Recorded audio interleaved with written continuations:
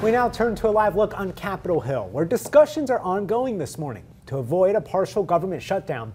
The president and Congress have three days to come to an agreement and keep government offices open. Senate Republicans are now reportedly working on a short term spending bill to avert the shutdown, but nothing's been finalized.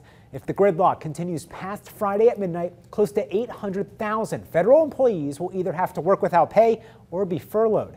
Mark Liverman shares how politicians are addressing the issue this morning. President Trump appears to be standing firm on his demand for a border wall. Last night he tweeted, We are building artistically designed steel slats. It will go up fast and save us billions of dollars a month.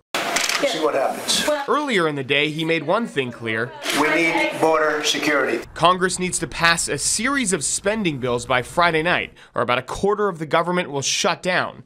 Last week, the president said that's okay. I am proud to shut down the government for border security. Democrats have held firm against any new border wall money. Yesterday, they rejected a proposal from Senate Republicans for $1 billion to fund other immigration issues. We cannot accept the offer they made of a billion dollar slush fund for the president to implement his uh, very wrong immigration policies. Press Secretary Sarah Sanders said the White House wants to see what Congress can pass. But in the meantime, they're considering other options. Well, the president's asked every one of his cabinet secretaries to look for funding that can be used uh, to protect our borders.